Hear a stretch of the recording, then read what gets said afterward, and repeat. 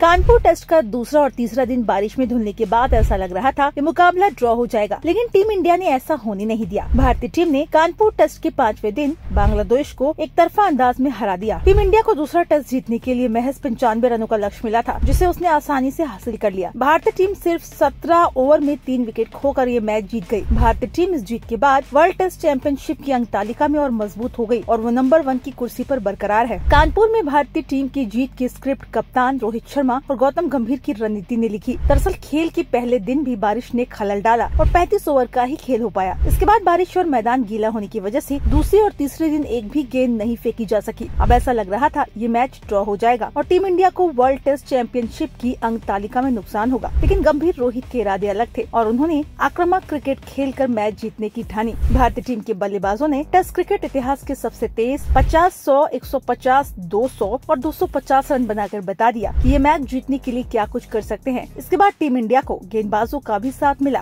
और बुमराह अश्विन और जडेजा की तिकड़ी ने बांग्लादेश की हार तय कर दी। बल्लेबाजी में यशस्वी जायसवाल ने कानपुर में कमाल कर दिया। बाएँ हाथ के इस ओपनर ने पहली पारी में महज इक्यावन गेंदों में बहत्तर रन बनाए। वहीं दूसरी पारी में इस खिलाड़ी के बल्ले से इक्यावन रन निकले। यशस्वी जायसवाल सीरीज़ में सबसे ज़्यादा रन बनाने वाले खिलाड़ी भी बने। साफ़ है कि रोहित की यंग ब्रिगेड कमाल है और इसी दम पर भारतीय टीम ने कानपुर टेस्ट में जीत हासिल की।